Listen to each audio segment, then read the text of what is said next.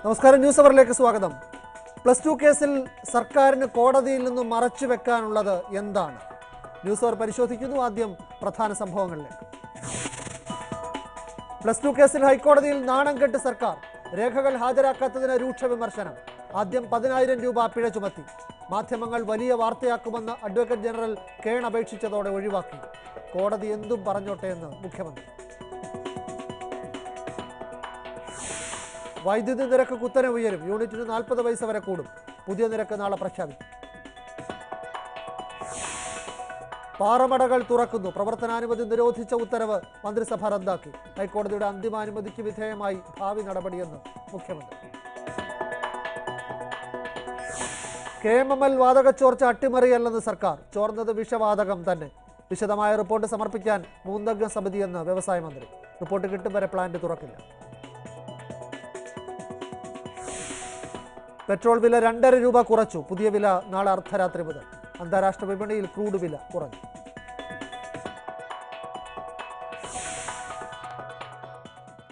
Plus two കേസിൽ സംസ്ഥാന സർക്കാരിന് ഹൈക്കോടതിയുടെ രൂക്ഷ വിമർശനം. കോടതി പലതവണ ആവശ്യപ്പെട്ടിട്ടും ബന്ധപ്പെട്ട രേഖകൾ ഹാജരാക്കാത്തതിന് പതിനായിരം രൂപ പിഴയിട്ട കോടതി പിന്നീട് അത് പിൻവലിച്ചു. പുതിയ പ്ലസ് ടു സ്കൂളുകളും ബാച്ചുകളും അനുവദിച്ചതുമായി ബന്ധപ്പെട്ട എല്ലാ രേഖകളും ഹാജരാക്കാൻ സർക്കാരിന് നേരത്തെ രണ്ട് തവണ ഹൈക്കോടതി സമയം നീട്ടി നൽകിയിരുന്നു. എന്നാൽ ഇന്നും കോടതിയിൽ സമയം നീട്ടി ചോദിക്കുകയാണ് സർക്കാർ ചെയ്തത്. സർക്കാർ കോടതിയിൽ നിരുത്തരവാദപരമായാണ് പെരുമാറുന്നതെന്ന് പറഞ്ഞ justice P R Ramachandra Menon ഇങ്ങനെയാണെങ്കിൽ കേസ് കേൾക്കാൻ താല്പര്യമില്ലെന്നും വ്യക്തമാക്കി. ഈ സ്ഥിതി അത്യന്തം ഖേദകരമാണ്. ഫയലുകൾ തന്റെ ഓഫീസിൽ ഇന്ന് രാവിലെയാണ് എത്തിയതെന്നും പഠിക്കാൻ കുറച്ചുകൂടി സമയം വേണമെന്നുമായിരുന്നു സർക്കാരിന് വേണ്ടി ഹാജരായ അഡ്വക്കേറ്റ് ജനറലിന്റെ നിലപാട്. തിരുവനന്തപുരത്ത് നിന്ന് ഫയലുകൾ എറണാകുളത്തെത്താൻ എത്ര മണിക്കൂർ വേണമെന്ന് തിരിച്ചു ചോദിച്ച കോടതി ഇന്നത്തെ കോടതി ചെലവ് എന്ന നിലയിൽ പതിനായിരം രൂപ കെട്ടിവെക്കാൻ ഉത്തരവിട്ടു. കോടതി നിർദ്ദേശം മാധ്യമങ്ങളിൽ വലിയ വാർത്തയാകുമെന്നും ഒഴിവാക്കണമെന്നും എ ജി കേണപേക്ഷിക്കുന്ന കാഴ്ചയാണ് പിന്നീട് കോടതിയിൽ കണ്ടത്. തുടർന്ന് തുക കെട്ടിവെക്കുന്നതിൽ നിന്ന് സർക്കാരിനെ ഒഴിവാക്കിയ കോടതി എല്ലാ രേഖകളും നാളെ തന്നെ ഹാജരാക്കാൻ നിർദ്ദേശിച്ചു. കേസിൽ നാളെ വാദം തുടരും. Asianet news Kochi. Plus two കേസിലെ ഹൈക്കോടതിയുടെ വിമർശനത്തിന് മുഖ്യമന്ത്രി വ്യക്തമായ മറുപടി നൽകിയില്ല. ഇതേക്കുറിച്ച് ചോദിച്ചപ്പോൾ വിമർശനം ആയിക്കോട്ടെ എന്ന് പറഞ്ഞ് മുഖ്യമന്ത്രി ഒഴിഞ്ഞു മാറി. പ്ലസ് ടു വിഷയം കോടതിയിൽ വന്നപ്പോൾ ഇന്നലെയാണ് തന്റെ കയ്യിൽ വിശദാംശങ്ങൾ കിട്ടിയതെന്നും അതിനെക്കുറിച്ച് വിശദമായി പഠിച്ചിട്ടില്ലെന്നും എ ജി പറഞ്ഞു. അതിനെതിരെ ജഡ്ജി വിമർശനം ഉന്നയിച്ചിരുന്നു.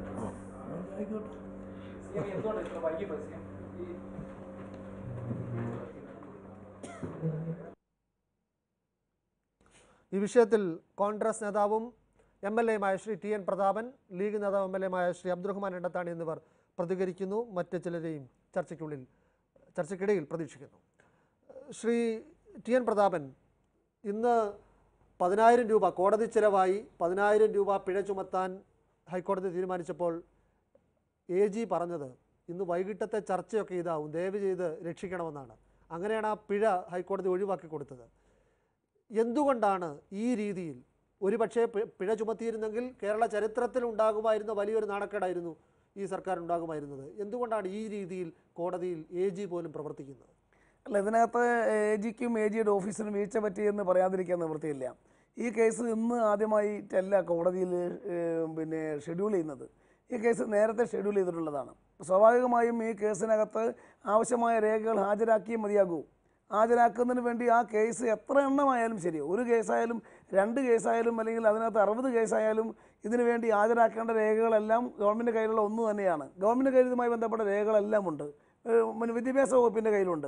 ഹയർ സെക്കൻഡറി ഡയറക്ടറേറ്റിന്റെ കയ്യിലുണ്ട്. അപ്പോൾ ഈ രേഖകൾ സ്വാഭാവികമായും ഹേജി സമയത്തിന് കൊണ്ടുവന്ന് കോടതിയിൽ ഹാജരാക്കേണ്ടതായിരുന്നു. ആ ഹാജരാക്കാൻ പറ്റാതിരുന്നത് എ ജിക്ക് പറ്റിയ എ ജി ഓഫീസിന് പറ്റിയ വീഴ്ചയാണ്. ആ വീഴ്ചയുടെ പേരിലാണ് ഗവൺമെന്റ് പഴി കേൾക്കേണ്ടി വരുന്നത്. അപ്പോൾ സ്വാഭാവികമായും ഇത്തരത്തിലുണ്ടാകുന്ന വീഴ്ചകൾ കോടതിയിൽ വരാതിരിക്കാൻ വേണ്ടി വളരെ സൂക്ഷ്മതയോടെ കൂടെ നിൽക്കേണ്ട എ ജിയെ പോലത്തെ ഉള്ള ഒരു ഒരു ഓഫീസും ഒരു സ്ഥാപനവും വലിയ വീഴ്ച വരുത്തിയിരിക്കുകയാണ്. ആ വീഴ്ച ഗൗരവത്തോടു കൂടി ഗവൺമെന്റ് കണ്ടേ മതിയാകൂ.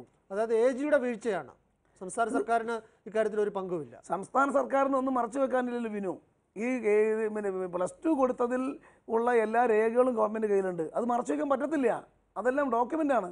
ഏത് സ്കൂളിൽ കൊടുത്തു എവിടെ മറച്ചു വെക്കാൻ പറ്റില്ല. അത് സത്യമാണ്. പറ്റില്ല. പക്ഷേ അത് മറച്ചു വെക്കണമെന്ന് ആഗ്രഹിച്ചു പോകാം. അങ്ങനെ മറച്ചു വെക്കണം എന്ന് ആഗ്രഹിച്ച് പോയ പോയാലും ഇതെല്ലാം ഈ ഈ ലോകം വിവരാവകാശ ലോകവും റെക്കോർഡ്സും എല്ലാം ആർക്കും വാങ്ങി പരിശോധിക്കാവുന്ന ഒരു ലോകത്ത് ഏതെങ്കിലും ഒരു രേഖ മറച്ചു വെക്കാൻ ആർക്കെങ്കിലും പറ്റുമോ? ഏതെല്ലാം വിദ്യാഭ്യാസ ജില്ലയിൽ എവിടെയൊക്കെ പ്ലസ് ടു കൊടുത്തു? ആ കൊടുത്തത് എന്താണ്? നാളെ ആരാണ് ആ കൊടുത്തതിന് എന്താണ് മാനദണ്ഡം എന്ന് ചോദിച്ചാൽ ആ മാനദണ്ഡം ഉൾപ്പെടെ വ്യക്തമാക്കാൻ ഗവൺമെന്റ് ബാധ്യസ്ഥരാണ്. അവിടെയാണ് ചിലപ്പോൾ കുഴയാൻ പോകുന്നത് അത് മാനദണ്ഡം സ്വാഭാവികമായും ഗവൺമെന്റ് ചെയ്തിരിക്കുന്നത് പ്രോപ്പർ ചാനലാണ് ശരിക്ക് ശരിയായ രീതിയിലാണെങ്കിൽ ഗവൺമെന്റിന് പേടിക്കേണ്ടതില്ല. അപ്പോൾ ഗവൺമെന്റ് കേസ് വരും ഇതെല്ലാം കേസ് വരും. എന്നുള്ളത് കൊണ്ടും കേസ് നേരത്തെ ഇതുമായി ബന്ധപ്പെട്ട് പ്ലസ് ടുമായി ബന്ധപ്പെട്ട് നേരത്തെ നിരവധി കേസുകളുണ്ടായി. കോടതിയുടെ കമന്റുകൾ വിധികൾ ആ വിധികളുടെ അടിസ്ഥാനത്തിലാണ് പ്ലസ് ടു കൊടുക്കാൻ വേണ്ടി തന്നെ തീരുമാനിച്ചത്. അപ്പോൾ അങ്ങനെ കൊടുക്കുമ്പോൾ ലിബറലായി കൊടുക്കുകയും ചെയ്തിട്ടുണ്ട്. ആ കൊടുത്തതിന് എല്ലാ റെക്കോർഡ്സും ഉണ്ട്. ആ റെക്കോർഡ്സ് കേസ് നടക്കുന്ന സന്ദർഭത്തിൽ കോടതിയിൽ കൊണ്ടുവന്നില്ല എന്ന് പറഞ്ഞാൽ ഇതിനേക്കാൾ വലിയ വീഴ്ചയുണ്ടോ? ആ വീഴ്ചയ്ക്ക് സമാധാനം പറയേണ്ടത് എ ജി തന്നെയാണ്. എ ജിയുടെ ഓഫീസ് തന്നെയാണ്. എ ജിക്കും എ ജിയുടെ ഓഫീസിനും ഈ കാര്യത്തിൽ ഗുരുതരമായ വീഴ്ച പറ്റിയിട്ടുണ്ട്. ശ്രീ കണ്ടെത്താണ് രണ്ടത്താണി ശ്രീ എൻ അതേ അഭിപ്രായമാണോ ഈ കാര്യത്തിൽ ശ്രീ രണ്ടത്താണിക്കുള്ളത്? അല്ല ഈ കാര്യത്തിൽ സർക്കാരിന്റെ ഭാഗത്ത് നിന്നുള്ള രേഖകളൊക്കെ തന്നെ വളരെ വ്യക്തമായി ഇവിടെ സമർപ്പിക്കാവുന്നതാണ്. അത് കോടതിയിൽ സമർപ്പിച്ചതുമാണ്. എന്ന് മാത്രമല്ല ഹർജിക്കാർ തന്നെ ഇതിന്റെയൊക്കെ കൃത്യമായ കോപ്പി കോടതിയെ ഏൽപ്പിച്ചിട്ടുമുണ്ട്. പക്ഷേ ഇവിടെ ഉണ്ടായ ഒരു വളരെ പ്രധാനപ്പെട്ട ഒരു വിഷയം അന്നുണ്ടായതിൽ നിന്ന് വ്യത്യസ്തമായി ഇപ്പോൾ കോടതിയിൽ കേസുകളുടെ ഒരു ബാഹുല്യം ഇതിലുണ്ടായി. ഒരു പത്തെഴുപത് കേസുകൾ ഒന്നിച്ചു വരുന്ന സമയത്ത് സ്വാഭാവികമായും വസ്തുനിഷ്ഠമായ ഒരു കോടതിയുടെ മുമ്പിൽ വസ്തുനിഷ്ഠമായി കാര്യങ്ങൾ സമർപ്പിക്കാൻ ഒരു അഡ്വക്കേറ്റ് ജനറൽ ബാധ്യസ്ഥനാണ് എന്ന് മനസ്സിലാക്കിക്കൊണ്ട് തന്നെ ഒരു ദിവസം കൂടി കിട്ടിയാൽ കുറെ കൂടി വസ്തുനിഷ്ഠമായി തന്നെ ഫയലുകൾ സമർപ്പിക്കാൻ കഴിയും എന്നുള്ള സതുദ്ദേശപരമായ ഒരു ഉദ്ദേശ ശുദ്ധിയോടുകൂടിയാണ് കോടതിയിൽ അങ്ങനെ പരാമർശിച്ചത് എന്നാണ് ഞങ്ങൾക്കറിയാൻ സാധിച്ചത്. ബഹുമാനപ്പെട്ട കോടതിയെ സംബന്ധിച്ചിടത്തോളം വിദ്യാർത്ഥികളെ ബാധിക്കുന്ന ഗുരുതരമായ ഒരു വിഷയമാണ്. ഇത് നീട്ടിക്കൊണ്ടുപോകാനാവില്ല.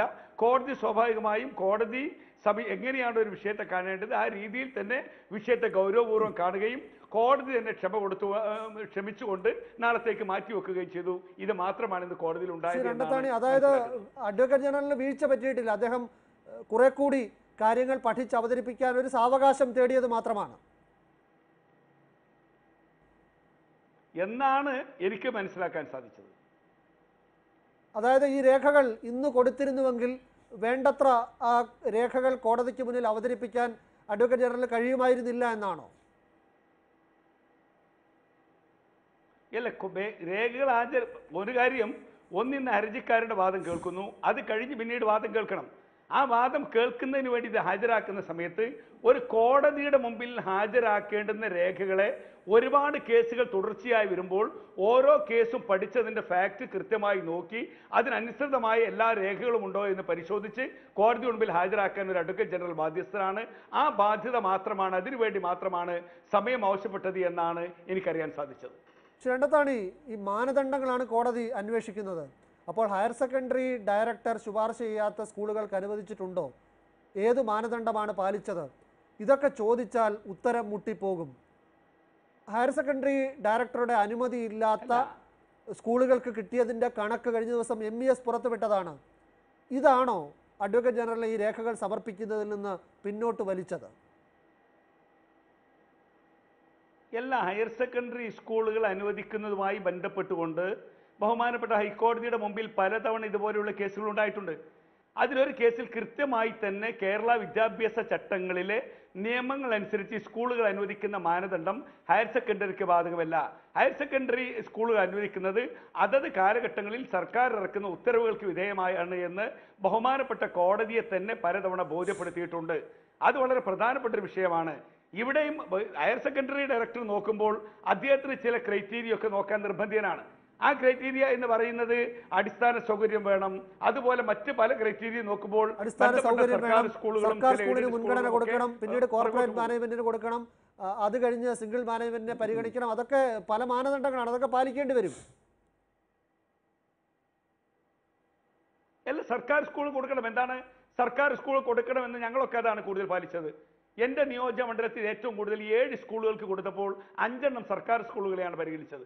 കാരണം ജനപ്രതിനിധികൾ എന്ന നിലയിൽ അല്പമൊക്കെ അടിസ്ഥാന സൗകര്യം കുറവാണെങ്കിൽ അത് ഞങ്ങൾക്ക് ഉണ്ടാക്കി കൊടുക്കാം. പോലെ വിശാല മനസ്കരല്ല. എല്ലാവരും അനുവദിച്ചവരും അല്ല അങ്ങനെ അങ്ങനെ പറയാനാവില്ല. കാരണം ആ രീതിയിൽ അതിനെ വ്യാഖ്യാനിക്കരുത്. കാരണം ഇതിന്റെ ഒരിടത്ത് ഒരിടത്ത് പ്രവേശനം 50 കുട്ടികൾ സ്റ്റേ ഇല്ലെങ്കിൽ ചെയ്തിട്ടുണ്ടല്ലോ. ഒരു സ്കൂളിലെ തുറവൂർ സ്കൂളിലെ പ്രവേശനം സ്റ്റേ ചെയ്തിട്ടുണ്ട്. അതും ഈ മാനദണ്ഡം പാലിക്കാത്തതിന്റെ പേരിലാണ്. അങ്ങനെ ഓരോ സ്കൂളിലും ഉണ്ട്. ഞാൻ പറയുന്നത് കോടതി സ്റ്റേ ചെയ്യാം പരിശോധിക്കാം കുറവുകൾ ഉണ്ടാകാം നമ്മൾ അതൊന്നും ഇല്ല എന്ന് പറയുന്നില്ല. കാരണം തൊള്ളായിരത്തോളം മണ്ഡലത്തിൽ നടന്നത് അവിടെ നടക്കാതിരുന്നത് കൊണ്ടാണ് സ്റ്റേ ചെയ്യേണ്ടി വന്നത്. ഞാൻ പറഞ്ഞില്ല ഒരു വലിയ പ്രക്രിയയാണ് നടക്കുന്നത്. ആവശ്യമുള്ള പല സ്ഥലങ്ങളും കൊടുത്തിട്ടില്ല. എനിക്കറിയാം പല സ്ഥലം കൊടുക്കാത്തതുണ്ട്. ഇപ്പോൾ ഇവിടെ മന്ത്രിയുടെ നേടിയ സ്കൂളാണ്. ഏറ്റവും കൂടുതൽ എ പ്ലസ് നേടിയ സ്കൂളാണ് അവിടെ വേണ്ടത്ര കൊടുത്തിട്ടില്ല. ചേറൂർ ഹൈസ്കൂൾ കൊടുത്തിട്ടില്ല. ഇതൊക്കെ വലിയ മന്ത്രിമാരുടെ മണ്ഡലങ്ങളിലാണ്. അപ്പൊ ഇത് എല്ലായിടത്തും പൂർണമായി എത്ര കൊടുത്തു എന്ന് പറയാൻ കഴിയില്ല. ഇനിയും സീറ്റുകൾ ആവശ്യമാണ്. ഇനിയും ഒരുപാട് ആവശ്യങ്ങൾ ഉണ്ട് അതുകൂടി പരിഹരിക്കാൻ ഗവൺമെന്റ് എന്ത് നടപടി എടുക്കുമെന്നതാണ് ഇനി മുമ്പിലുള്ള ചോദ്യം. ശ്രീ പ്രതാപൻ ശ്രീ രണ്ടത്താണി പറയുന്നത് സർക്കാരിനെ രക്ഷിക്കുകയായിരുന്നു എ ജി എന്നാണ്. സത്യത്തിൽ ഇത് നീട്ടിവെക്കുകയാണ് സർക്കാരിന്റെ ഉദ്ദേശമെന്ന് സംശയിച്ചു പോകുന്നു. പക്ഷേ രണ്ടത്താണ് കൂടി പറഞ്ഞത് കണക്കിലെടുത്താൽ. അല്ല അങ്ങനെ വിനു അങ്ങനെ ഈ കേസ് അങ്ങനെ നീട്ടിവെക്കാൻ പറ്റുമോ? സ്കൂളിൽ കുട്ടികൾക്ക് പ്രവേശനം കൊടുക്കണ്ടേ? പ്രവേശനം കൊടുക്കേണ്ട സമയമല്ലേ? പ്ലസ് ടുവിന് എന്തോരം അനന്തമായി നീട്ടിവെക്കാൻ വേണ്ടി പറ്റും? ഇതിനകത്ത് എവിടെയൊക്കെയോ ചില പോരായ്മ ഉണ്ടായിട്ടുണ്ട്. പ്ലസ് ടുവും അഡീഷണൽ ബാച്ച് കൊടുത്തതിലും പുതിയ സ്കൂൾ അനുവദിച്ചതിലും കൃത്യമായ ഒരു പഠനം ഉണ്ടായിട്ടില്ലെന്നാണ് എന്റെയും പരാതി. ഞാൻ ചെറിയൊരു ഉദാഹരണം പറയാം. ഞാൻ കൊടുങ്ങല്ലൂർ നിയോജക മണ്ഡലത്തിൽ എം എൽ എ ആണ്. ഞാൻ എന്റെ നിയോജകമണ്ഡലത്തിൽ അഞ്ച് ഗവൺമെന്റ് സ്കൂളുകളിൽ പ്ലസ് ടുവിന്റെ അഡീഷണൽ ബാച്ച് കൊടുക്കാൻ വേണ്ടി ആവശ്യപ്പെട്ട ആളാണ്. സ്കൂളുകൾ അപ്ലിക്കേഷൻ കൊടുക്കുകയുണ്ടായി. എന്റെ അവിടെ ആകെ അനുവദിച്ചത് ഗവൺമെന്റ് ഗേൾസ് സ്കൂളിലാണ്. അതേപോലെ ഗവൺമെന്റ് ബോയ്സ് അനുവദിച്ചില്ല. അനുവദിച്ചില്ല. അപ്പം അപ്പോൾ സ്വാഭാവികമായും ഇത് കൊടുത്തതിൽ പൂർണമായും നേരത്തെ വിനു പറഞ്ഞ പോലെ പ്രഥമ പരിഗണന സർക്കാർ സ്കൂളുകൾക്ക്. ഇല്ലെങ്കിൽ കോർപ്പറേറ്റ് മാനേജ്മെന്റുകൾക്ക് അതല്ലെങ്കിൽ മാത്രമാണ് സിംഗിൾ മാനേജ്മെന്റ് വരുന്നത്. അപ്പോൾ ഗവൺമെന്റ് സ്കൂളിൽ കൊടുക്കാൻ എല്ലാ ഫെസിലിറ്റീസും ഉണ്ടായിട്ടും ഞാനൊക്കെ എന്റെ എം എൽ എ ഫണ്ടിന്റെയും എം എൽ എ ആസ്തി വികസന ഫണ്ടിന്റെയും സിംഹഭാഗവും കൊടുത്തിട്ട് വിദ്യാഭ്യാസ സ്ഥാപനങ്ങൾക്കാണ്. ഒരു വർഷത്തെ അഞ്ച് കോടി മുഴുവൻ സ്കൂളുകൾക്ക് കൊടുത്തു. പിന്നത്തെ വർഷത്തെ അഞ്ച് കോടി കൊടുത്തു. അങ്ങനെ ഒരു കേരളത്തിൽ ആരും കൊടുത്തു എന്നിട്ട് പോലും ഗവൺമെന്റ് സ്കൂളുകൾക്ക് ഇത് കൊടുക്കാത്തൊരു വീഴ്ച പറ്റിയിട്ട് അപ്പം ഇവിടെ എവിടെയോ ഇത് ഇത് കൊടുക്കുന്നതിൽ കൃത്യമായ ഒരു പഠനം നടന്നിട്ടില്ല. പക്ഷെ പ്രതാപന്റെ മണ്ഡലത്തിൽ കൊടുങ്ങല്ലൂരിൽ സർക്കാർ സ്കൂളുകൾക്ക് കൊടുത്തില്ല. ഒരിടത്തെ കൊടുത്തു ഒരേ ഒരു ഗവൺമെന്റ് ഗവൺമെന്റ് മാനദണ്ഡം ലംഘിച്ച് കൊടുത്തിട്ടില്ല. മാനദണ്ഡം ലംഘിച്ച് കൊടുത്തില്ല പക്ഷെ അർഹതമായ ഗവൺമെന്റ് സ്കൂളിൽ കൊടുത്തിട്ടില്ല.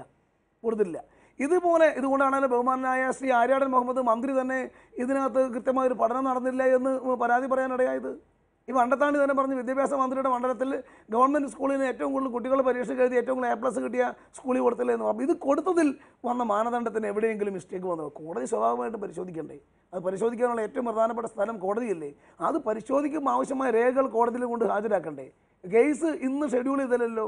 നേരത്തെ തന്നെ ഈ കേസ് കോടതി കോടതിയുടെ രണ്ട് മൂന്ന് തവണ കോടതി ഇത് മാറ്റി ന്യായം പറഞ്ഞതാണ്. അപ്പൊ അതിനൊക്കെ ഓരോ ന്യായം പറഞ്ഞ് മാറ്റി വെച്ചതില്ല? അപ്പൊ സ്വാഭാവികമായും ഗവൺമെന്റ് കയ്യിലുള്ള ഫയലുകൾ എന്തുകൊണ്ട് കോടതിയിൽ ഹാജരാക്കാൻ താമസമുണ്ടാകുന്നു?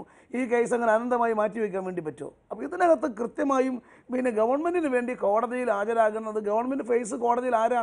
എ ജിയാണ് എ ജിയുടെ ഓഫീസാണ്. ഈ ഇത്തരം കേസുകളിൽ കൃത്യമായും രേഖകൾ യഥാസമയം ശേഖരിച്ച് അത് കോടതിയിൽ കൊണ്ടുപോയിരുന്നെങ്കിൽ കോടതി ഇങ്ങനെ ഇത്തരത്തിലുള്ള രൂക്ഷമായ വിമർശനം ഉണ്ടാകുമോ? കോടതിയെ നമ്മൾ മനഃപൂർവം പ്രകോപിപ്പിക്കുകയാണോ? ഇനി കേസ് കേൾക്കണമെന്നില്ല എന്ന് വരെ കോടതി പറഞ്ഞു. പറഞ്ഞു എന്നെ വേണമെങ്കിൽ ഈ ബെഞ്ച് ഞാൻ ഞാൻ കേൾക്കുന്നതിൽ എന്തെങ്കിലും ബുദ്ധിമുട്ടുണ്ടോ? അങ്ങനെ പോലും കോടതിക്ക് പറയേണ്ട ഒരു സാഹചര്യം എന്തിനുണ്ടാക്കുന്നു? കോടതിയുടെ അകത്ത് എല്ലാ രേഖകളും ഉണ്ടെങ്കിൽ അത് അത് അത് ഹാജരാക്കൂടെ ഈ അനുവദിച്ചതിൽ എവിടെയെങ്കിലും അപാകത ഉണ്ടെങ്കിൽ ആ അപാകത തിരുത്തപ്പെടുക വേണ്ടത് തന്നെയാണ്. തീർച്ചയായും മറച്ചു വെക്കാൻ ശ്രമിക്കുമ്പോഴാണ് കൂടുതൽ വഷളാവുന്നത്. രണ്ടത്താണി ഈ പ്ലസ് ടു പ്രശ്നത്തിൽ ഉയർന്നു വരുന്ന ഓരോ വിമർശനവും കൂടുതൽ ഗൗരവത്തോടെ കാണുന്നതിനൊരു സാഹചര്യമുണ്ട്.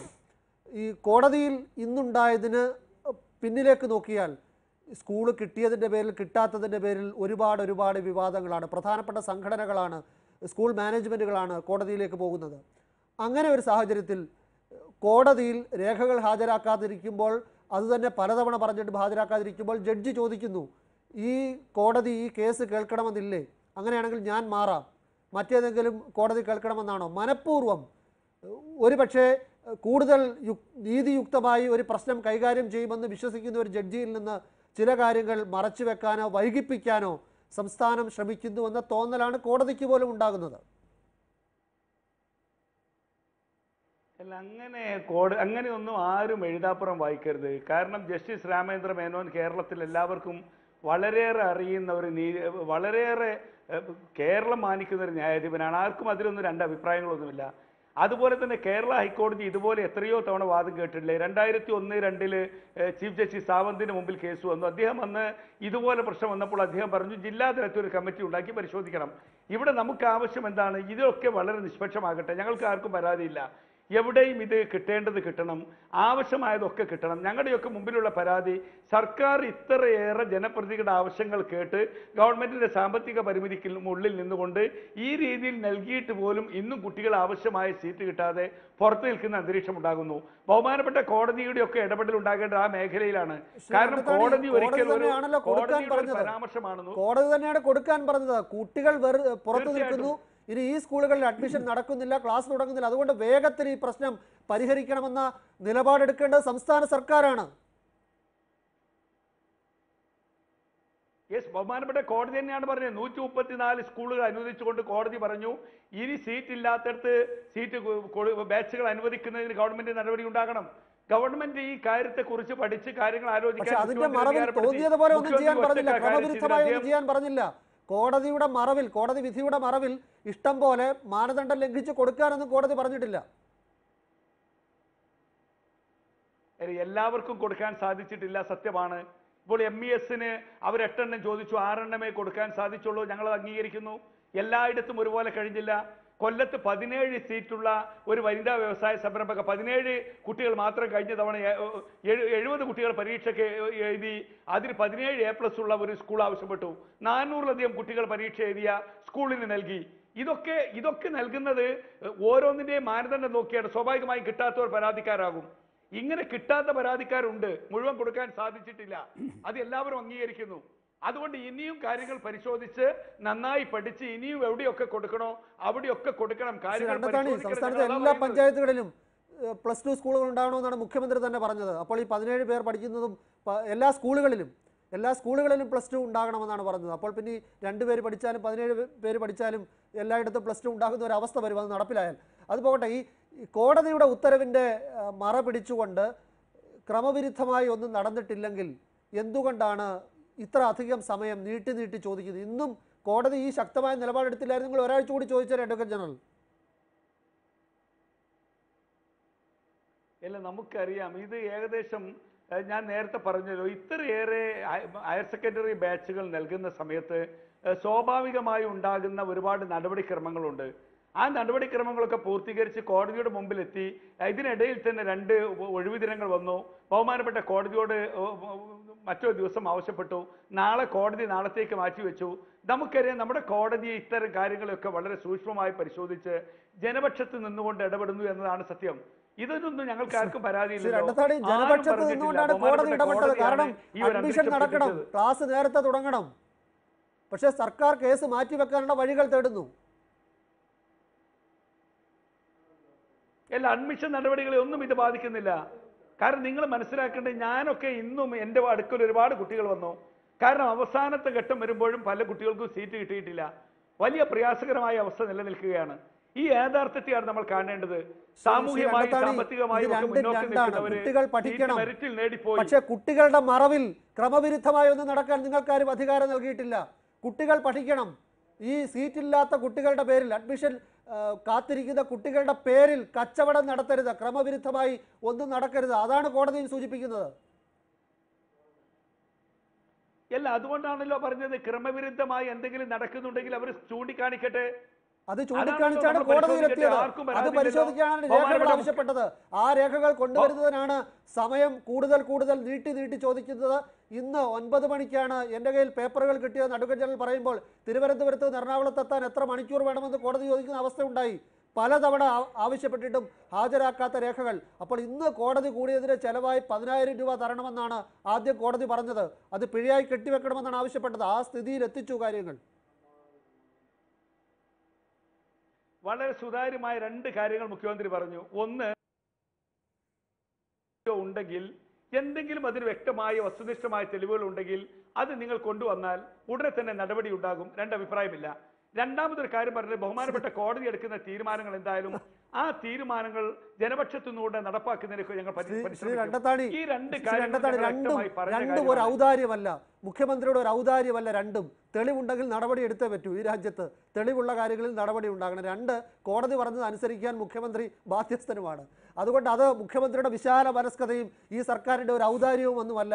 ആരുടെയും കാര്യത്തിലൂടെ ശുദ്ധിയൻ പ്രതാപൻ മുഖ്യമന്ത്രിയോട് പരാതി പറഞ്ഞാൽ പ്ലസ് ടു കിട്ടിയതിലെ അല്ലെങ്കിൽ അനുവദിച്ചതിലെ ക്രമക്കേടുകൾ ചൂണ്ടിക്കാണിച്ചാൽ ആരോപണം ഉന്നയിക്കുന്നവർ തെളിവ് കൊണ്ടുവരാൻ ആവശ്യപ്പെടും. ഇനി കോടതി വിമർശനം നടത്തിയാൽ എന്തും പറഞ്ഞോട്ടെ വിമർശിച്ചോട്ടെ എന്ന് പറയും. ഇത് ഒരു ഭരണാധികാരിക്ക് ഭൂഷണമാണോ എന്ന് ആരും ചോദിച്ചു പോകും. അല്ല സ്വാഭാവികമായിട്ട് മുഖ്യമന്ത്രിക്ക് പിന്നെ തെളിവ് കൊണ്ടുവന്നാൽ അത് പരിഹരിക്കാം ഇടപെടാം എന്ന് പറയുന്നത് കോടതി ഒരു തീരുമാനം പറഞ്ഞാൽ അത് അംഗീകരിക്കുമെന്ന് പറയുന്നത് മുഖ്യമന്ത്രിക്ക് അദ്ദേഹത്തിന്റെ ആ സ്ഥാനത്ത് നിന്നുകൊണ്ട് പറയാവുന്ന ഏറ്റവും മാന്യമായ ഒരു ജനാധിപത്യ മര്യാദയാണ്. അതിനെ നമുക്ക് വിനു ആ ഒരു നല്ല അണ്ടർസ്റ്റാൻഡിങ്ങിൽ തന്നെ എടുക്കുകയാണ് എടുക്കുകയാണ് വേണ്ടത്. വിനു ഇവിടെ ഏറ്റവും പ്രധാനപ്പെട്ട പ്രശ്നം ഇത് ഈ പ്ലസ് ടുവുമായി ബന്ധപ്പെട്ട് ഇന്നും ഇന്നലെ തുടങ്ങിയതല്ല. നായനാർ മുഖ്യമന്ത്രിയായിരുന്ന കാലത്ത് പി ജെ ജോസഫ് മന്ത്രിയായിരുന്ന കാലത്ത് അന്നും കച്ചവടം. അന്നും കച്ചവടം അന്നും വിവാദം. ഏറ്റവും കൂടുതൽ കുട്ടികളെ പരീക്ഷ ചേർത്തിയ സ്കൂളിന് പോലും ആദ്യം കൊടുത്തില്ല അപ്പോൾ ഇത് ഏത് കാലത്തും പ്ലസ് ടു പിന്നെ കോഴ്സ് അനുവദിക്കുന്നതും അഡീഷണൽ ബാച്ച് അനുവദിക്കുമ്പോഴൊക്കെ വിവാദങ്ങളും കോടതി കേസ് എന്തിനാ വിനു ഇതിങ്ങനെ ഇങ്ങനെ സമ്പന്നരായവരൊക്കെ പി ജോസഫിനെ പിന്നിൽ നിന്ന് കുത്തിയ ചരിത്രവും ഉണ്ട് ഉണ്ട് അപ്പോൾ അവർ അവർ അന്ന് അന്ന് വിട്ടുപോയി പിന്നെ വിട്ടുപോയി. വിനു ഇതിനകത്തൊരു ഇങ്ങനെ ഒരു ഒരു മറ വെക്കേണ്ട കാര്യമില്ല.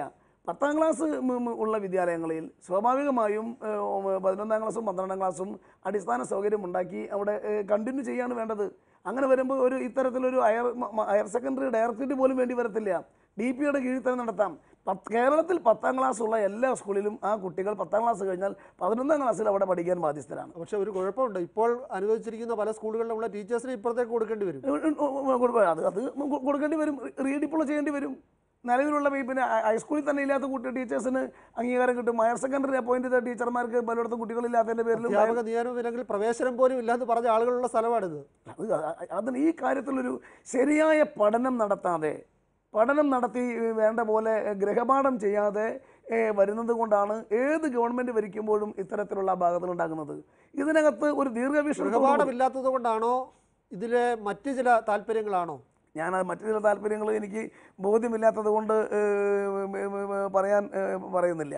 മറ്റ് വേറെ എന്തെങ്കിലും ഒരു താല്പര്യമുണ്ടോ പക്ഷേ കൊടുക്കുന്നതിൽ അനുവദിക്കപ്പെടുന്നതിൽ എൽ ഡി എഫ് ഗവൺമെന്റ് ആയാലും യു ഡി എഫ് ഗവൺമെന്റ് ആയാലും പലപ്പോഴും മാനദണ്ഡങ്ങളുടെ അടിസ്ഥാനത്തിലല്ല അനുവദിക്കപ്പെടുന്നത് സമ്മർദ്ദങ്ങളുടെ അടിസ്ഥാനത്തിൽ അപ്പോൾ പിന്നെ സംശയിക്കണം എ ജി എന്തുകൊണ്ട് രേഖ ഹാജരാക്കാൻ അതുകൊണ്ട് ആ അങ്ങനെ അങ്ങനെ രേഖ കയ്യിലുണ്ടായിട്ട് ഹാജരാക്കാതെ വരുമ്പോഴാണല്ലോ കോടതിക്ക് സംശയം വർദ്ധിപ്പിക്കുക. കോടതി കോടതി സംശയം പറയുമ്പോൾ എന്തുണ്ടാകും? ജനങ്ങളും അത് സ്വാഭാവികമായും ഏറ്റെടുക്കാൻ തയ്യാറാവും. നമ്മൾ ചെയ്തത് സുതാര്യമാണെങ്കിൽ നമ്മൾ എന്തിനാ പിന്നെ പേടിക്കുന്നത്? നമ്മുടെ മടിയിൽ കനമില്ലെങ്കിൽ നമുക്ക് പേടിക്കേണ്ട കാര്യമുണ്ടോ? അതുകൊണ്ട് കോടതി ആവശ്യപ്പെടുന്ന രേഖകളെല്ലാം സമയത്ത് കൊടുക്കാൻ തയ്യാറായി കോടതിയെ സത്യസന്ധമായ കാര്യങ്ങൾ ബോധ്യപ്പെടുത്തുകയാണ് വേണ്ടത്. അവിടെയാണ് എ ജിക്ക് വീഴ്ച പറ്റിയെന്ന് വളരെ ബഹുമാനത്തോടു കൂടി പറയേണ്ടി വരുന്നത്. ഇവിടെ എല്ലാ സ്കൂളുകളുടെയും കാര്യത്തിൽ ഇപ്പം ജനപ്രതിനിധികളൊക്കെ പറയുന്നത് ലീഗുകാർ ഉൾപ്പെടെ പറയുന്നുണ്ട് പലപ്പോഴും ആവശ്യപ്പെട്ടിടത്തല്ല കിട്ടിയത്. ഇതിൽ മുസ്ലിം ലീഗിനെ പ്രതിസ്ഥാനത്ത് നിർത്തിക്കൊണ്ടുള്ള ഒരു ആക്രമണം ഉണ്ടെന്ന് തോന്നുന്നു. ഒരിക്കലും ഞാൻ അങ്ങനെ ഒരിക്കലും മുസ്ലിം ലീഗിനെ ഈ കാര്യത്തിൽ പ്രതിസ്ഥാനത്ത് നിർത്തേണ്ട കാര്യമില്ല. കേരളത്തിലെ പിന്നെ യു ഡി എഫിലെ എല്ലാ ജനപ്രതികളും എല്ലാ ആളുകളും ഇടപെട്ടിട്ടുണ്ട്. ഞാനിപ്പോൾ എന്റെ എന്റെ നിയോജകമണ്ഡലത്തിൽ പ്ലസ് ടു അഡീഷണൽ ബാച്ച് വേണമെന്ന് ആവശ്യപ്പെട്ട ആളാണല്ലോ. അവിടെ എന്തിനാണ് മുസ്ലിം ലീഗിനെ പ്രതിസ്ഥാനത്ത് നിർത്തുന്നത്. യു ഡി എഫിനകത്തുള്ള എം എൽ എമാരും യു ഡി എഫിലെ നേതാക്കന്മാരും അതേപോലെ തന്നെ അതിനപ്പുറത്തുള്ള സാമുദായിക സംഘടനകളും കോർപ്പറേറ്റ് മാനേജ്മെന്റുകളും ഒക്കെ ആവശ്യപ്പെട്ടിട്ടുണ്ട്. അങ്ങനെ ഒരിക്കലും മുസ്ലിം ലീഗിന് ഈ കാര്യത്തിൽ ആരും പ്രതിസ്ഥാനത്ത് നിർത്തി ഞങ്ങളത് സമ്മതിക്കത്തില്ല. ലീഗ് ലീഗ് മാത്രമല്ല കേരളത്തിലെ എല്ലാ പ്രധാനപ്പെട്ട സമുദായ സംഘടനകൾക്ക് കോർപ്പറേറ്റ് മാനേജ്മെന്റുകൾക്ക് പിന്നെ ഗവൺമെന്റ് വിദ്യാഭ്യാസ സ്ഥാപനങ്ങളിൽ ഇത് കൊടുക്കുന്നതിലൊക്കെ ശുപാർശകൾ ഉണ്ടായിട്ടുണ്ട് ഇടപെട്ടിട്ടുണ്ട്. അങ്ങനെ ലീഗ് മാത്രമൊന്നുമില്ല അങ്ങനെ ലീഗിനെ ആരെങ്കിലും ഒറ്റ തിരിഞ്ഞ് ഈ കാര്യത്തിൽ ആക്രമിക്കാൻ വേണ്ടി ശ്രമിച്ചാൽ സമ്മതിക്കുകയുമില്ല. ഇതിനകത്ത് എല്ലാവർക്കും കൂട്ടുത്തരവാദിത്തമുണ്ട്. എവിടെയാണ് വീഴ്ച പറ്റിയിരിക്കുന്നത്? അർഹതമായ സ്ഥലത്ത് കൊടുത്തിട്ടില്ലേ? അത് പരിശോധിക്കണം. അത് നിർബന്ധമായും പ്ലസ് ടു കൊടുത്തതിലും അഡീഷണൽ ബാച്ച് കൊടുത്തതിലും അർഹമായ സ്ഥലങ്ങൾ നിഷേധിക്കപ്പെട്ട് അനർഹമായ സ്ഥലത്ത് കൊടുത്തിട്ടുണ്ടെങ്കിൽ അത് പുനഃപരിശോധിക്കുക തന്നെ വേണം. ശ്രീ അബ്ദുറഹ്മാൻ എ ജിക്ക് കോടതിയിൽ വീഴ്ച പറ്റിയാലും എ ജി എന്തെങ്കിലും മറക്കി മറച്ചു വെക്കാൻ ശ്രമിച്ചാലും എ ജി രേഖകൾ കൊടുക്കാതിരുന്നാലും ലീഗിന്റെ മുന്നിലേക്ക് ഈ പ്രശ്നങ്ങൾ കൊണ്ടെത്തിക്കുന്ന ഒരു രീതി ഇവിടെ ഉണ്ട്. പ്ലസ് ടുവിനെ മുൻനിർത്തി മലപ്പുറത്തെ മലപ്പുറത്തെയൊക്കെ വിദ്യാഭ്യാസ രംഗത്തെ പ്രശ്നങ്ങൾ ചൂണ്ടിക്കാണിച്ചുകൊണ്ട് ബുദ്ധിമുട്ടുകൾ ചൂണ്ടിക്കാണിച്ചുകൊണ്ട് കൂടുതൽ ബാച്ചുകൾക്കായി നിങ്ങൾ ആവശ്യം ഉന്നയിച്ചു എന്നതിന്റെ പേരിൽ ലീഗിനെ ഒറ്റപ്പെടുത്താനുള്ള ഒരു ശ്രമം നടക്കുന്നുണ്ടോ? അല്ല അങ്ങനെ ഒരിക്കലും ഇല്ല കേട്ടോ. അങ്ങനെ മുസ്ലിം ലീഗ് ഐക്യ ജനാധിപത്യ മുന്നണി ഞങ്ങളുടെ ഘടകകക്ഷികൾ ആരും തന്നെ അങ്ങനെ ഒരു ചിന്തിക്കുക പോലും ചെയ്യുന്നില്ല. എവിടെയും അങ്ങനെ കാണുന്നില്ല. പക്ഷെ ഒരു വിഷയമുണ്ട്. നേരത്തെ പ്രതാപിനോട് പറഞ്ഞതുപോലെ തന്നെ കേവലം എസ് എസ് എൽ സിക്ക് ശേഷം എല്ലാവർക്കും ഹയർ സെക്കൻഡറി എന്നത് മാത്രമല്ല നമുക്ക് അതോടൊപ്പം തന്നെ വൊക്കേഷണൽ ഹയർ സെക്കൻഡറി ഉണ്ട് ഐ ടി ഐ ഉണ്ട് പോളിടെക്നിക് ഉണ്ട്. അതൊക്കെ തന്നെ ഏറ്റവും ആധുനികമായ കോഴ്സുകൾ കൊണ്ടുവന്ന് കുട്ടികൾക്ക് ഏറ്റവും ഫലപ്രദമായ രീതിയിലുള്ള നവീകരണങ്ങൾ ഉണ്ടാകണം. അത് വളരെ അടിയന്തര പ്രാധാന്യത്തോടു കൂടി ചെയ്യേണ്ട ഒന്നാണ്. അതും ഇതിനനുബന്ധമായി നടക്കണം. ഇത്തരം കാര്യങ്ങളിലൊക്കെ വിദ്യാഭ്യാസ രംഗത്ത് ഹയർ സെക്കൻഡറി എന്ന് പറയുന്നത് ഒരു വലിയ പ്രധാനപ്പെട്ട ഘടകമാണ്.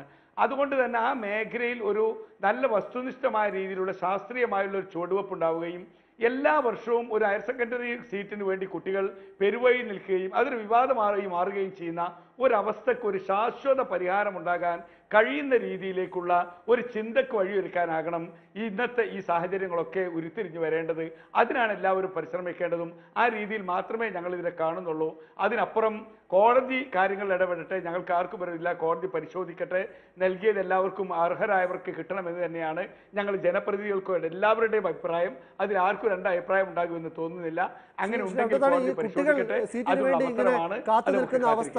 കുട്ടികൾ സീറ്റിന് വേണ്ടി നിങ്ങൾ ജനപ്രതിനിധികളുടെ മുന്നിലൊക്കെ യാചിച്ച് നിൽക്കേണ്ടി വരുന്ന ഒരവസ്ഥ കേരളത്തിൽ ഉണ്ടാവരുതെന്ന് മാത്രമല്ല ഈ സ്കൂൾ കിട്ടാൻ വേണ്ടി ഈ ബാഗ് നിറച്ച് പണവുമായി ഈ മാനേജ്മെന്റിലെ ആളുകൾ മാനേജർമാർ ഈ തിരുവനന്തപുരത്ത് തമ്പടിക്കുന്ന ഒരു കാഴ്ചയും ഉണ്ടാവരുത്. അല്ല അത് നിർത്തുക എന്നത് ഇത്തവണ ഞങ്ങൾ ആലോചിച്ച ഒരു കാര്യമാണ്. അവർക്ക് അവസരം കൊടുക്കരുത്. വെറുതെ അധ്യാപക നിയമനം നടത്തി അവിടെ നിന്നും ഇവിടെ നിന്നും കുട്ടികളെ കൊണ്ടുവരുന്ന ഒരു അവസ്ഥ ഉണ്ടാകരുത് എന്ന് കരുതിയാണ് ഈ വർഷം നാൽപ്പത് കുട്ടികളും അടുത്ത വർഷം അമ്പത് കുട്ടികളും ഉറപ്പാക്കണം. അതുവരെ ഗസ്റ്റ് ലെക്ചർമാരെ വെക്കാൻ പാടുള്ളൂ എന്നൊക്കെ പറയാൻ കാരണം ആ രീതിയിലുള്ള ഒരു സാഹചര്യം സൃഷ്ടിക്കപ്പെടരുത്. അതിനൊരു ശാശ്വത പരിഹാരം ഉണ്ടാകണമെന്ന് കരുതിയാണ് ഞങ്ങളൊക്കെ ആഗ്രഹിക്കുന്നു. അത്തരം ഇതിനെ ഒരു തീവെട്ടിക്കൊള്ളയായി കണ്ട് ഇതുവഴി ലാഭം ഉണ്ടാക്കാൻ ആഗ്രഹിക്കുന്ന കള്ളനാണയങ്ങളുണ്ടെങ്കിൽ അവരെ തിരിച്ചറിയണം. വിദ്യാഭ്യാസ രംഗത്ത് നന്നായി ഇടപെടുകയും നല്ല മികച്ച നിലവാരം ഉണ്ടാക്കുകയും ചെയ്യുന്ന ഒരുപാട് മാനേജ്മെന്റുകളുണ്ട്. അത്തരം മാനേജ്മെന്റുകളെ പ്രോത്സാഹിപ്പിക്കണം. അത് കോർപ്പറേറ്റ് മാനേജ്മെന്റുകളാണെങ്കിലും അല്ലെങ്കിൽ വ്യക്തിഗത മാനേജ്മെന്റുകളാണെങ്കിലും അത്തരത്തിലുള്ളവരെ കണ്ടെത്തി അവർ പ്രോത്സാഹിപ്പിക്കാൻ കഴിയുന്ന അന്തരീക്ഷം ഉണ്ടാകണം. ആ രീതിയിലാണ് ആലോചിക്കേണ്ടത്. ശ്രീണത്താണി അപ്പോൾ അവസാനമായി ഈ അഡ്വക്കേറ്റ് ജനറൽ ഇന്ന് കോടതിക്ക് മുന്നിൽ ഹൈക്കോടതിക്ക് മുന്നിൽ നുണ പറഞ്ഞതാണെന്ന് ശ്രീ രണ്ടത്താണ് വിശ്വസിക്കുന്നില്ല. സർക്കാരിനെ രക്ഷിക്കാൻ വേണ്ടിയാണെങ്കിലും. അല്ല ഞാൻ പറഞ്ഞല്ലോ അഡ്വക്കേറ്റ് ജനറൽ ദണ്ഡപാണി നമുക്കറിയാം വളരെ പരിചയസമ്പന്നനായ ഒരുപാട് പ്രമാദമായ ഒരുപാട് കേസുകളിലൊക്കെ വന്ന എല്ലാം അറിയുന്ന ഒരു അഭിഭാഷകനാണ്. അദ്ദേഹം അതാണ് എല്ലാം അറിയുന്ന ആളായതുകൊണ്ടാണ് അങ്ങനെ ഒരു തന്ത്രം പ്രയോഗിച്ചോ എന്ന സംശയം ഉണ്ടാവുന്നത്. അല്ല അങ്ങനെ നമ്മൾ അങ്ങനെ വ്യാഖ്യാനിക്കാനാവില്ലല്ലോ. അങ്ങനെ വ്യാഖ്യാനിക്കാനാവില്ല. നമ്മൾ ഏതായാലും ബഹുമാനപ്പെട്ട കോടതി അവിടെ പറഞ്ഞത് എന്താണ്? കോടതിയുടെ നടപടിക്രമമാണ്. കോടതി ഒരു നടപടിക്രമം പറഞ്ഞു കോടതി രേഖ ഹാജരാക്കാൻ പറഞ്ഞു അവസാനം സമയം അനുവദിച്ചു. രണ്ട് തവണ സമയം അനുവദിച്ചിട്ടും ഹാജരാക്കാൻ കഴിയാതെ വന്നപ്പോൾ പതിനായിരം രൂപ ഇതിന് ഫൈൻ അടക്കേണ്ടി വരുമെന്ന് പറഞ്ഞു. പിഴ ഒടുക്കുക എന്നത് സർക്കാർ ആയതുകൊണ്ടും മാപ്പപേക്ഷ ഉള്ളതുകൊണ്ടും അത് തൽക്കാലം വേണ്ട നാളത്തേക്ക് കോടതി വെക്കുന്നു എന്ന് പറഞ്ഞു. കോടതി ഒരു ന്യായാധിപൻ എന്നുള്ള രീതിയിൽ ന്യായാധിപൻ കാര്യത്തിന്റെ ഗൗരവം എ ജിയെ ബോധ്യപ്പെടുത്തുകയും ചെയ്തു. എന്നാൽ ജനകീയമായ ഒരു വിഷയം എന്നുള്ള നിലയിൽ ഇതിന് പരിഹാരം കണ്ടെത്താൻ നാളത്തേക്ക് മാറ്റിവെക്കുകയും ചെയ്തു. അത്രമാത്രമേ കോടതിയിൽ ഉണ്ടായിട്ടുള്ളൂ. വളരെ നന്ദി ശ്രീ അബ്ദുറഹ്മാൻ ഈ ശ്രീ ടി എൻ പ്രതാപൻ ഈ ചർച്ചയിൽ പങ്കെടുത്തത് എന്തായാലും ജസ്റ്റിസ് ബാലചന്ദ്ര മേനോന്റെ മഹാമനസ്കതയിൽ വലിയ അപമാനത്തിൽ നിന്ന് ഉമ്മൻചാണ്ടി സർക്കാർ തൽക്കാലം രക്ഷപ്പെട്ടു നിൽക്കുന്നു. ന്യൂസ് അവസാനിക്കുകയാണ്. ഏഷ്യാനെറ്റ് ന്യൂസിൽ ഇനി അവിരാമം കാണാം. നമസ്കാരം.